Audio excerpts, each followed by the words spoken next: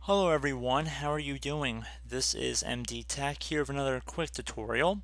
Today I'm going to show you guys if your mouse pointer is lagging or freezing very often on your Windows computer. This tutorial will hopefully show you guys a couple of potential walkarounds to resolve it. You want to open up the Start menu and type in Device Manager. It should be the best match that comes up and it should be listed right above Control Panel. You want to left click on it one time to open it up And now you want to go down to mice and other pointing devices and expand the view. Now in most cases there should be one device listed here.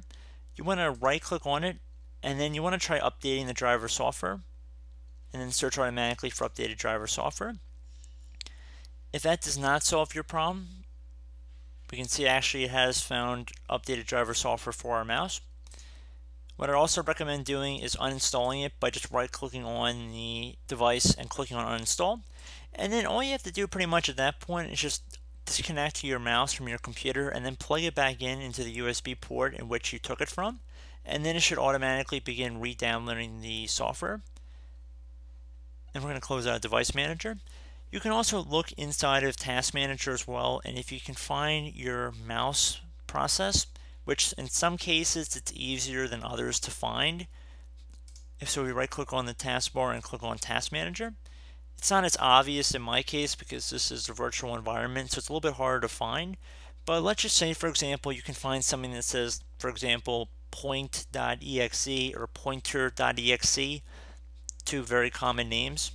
All you would do would be to right click on it and then click on Properties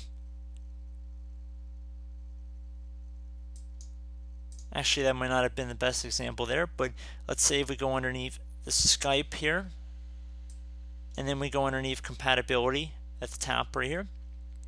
You can checkmark this box to run the program in compatibility mode for an earlier version of Windows.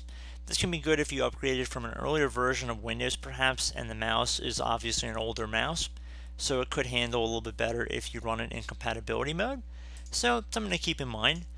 And you can always Google your mouse software online. So if you type in Microsoft Mouse or Dell Mouse or whatnot, you might be able to have some luck with that. But I do hope that one of these methods worked for you guys.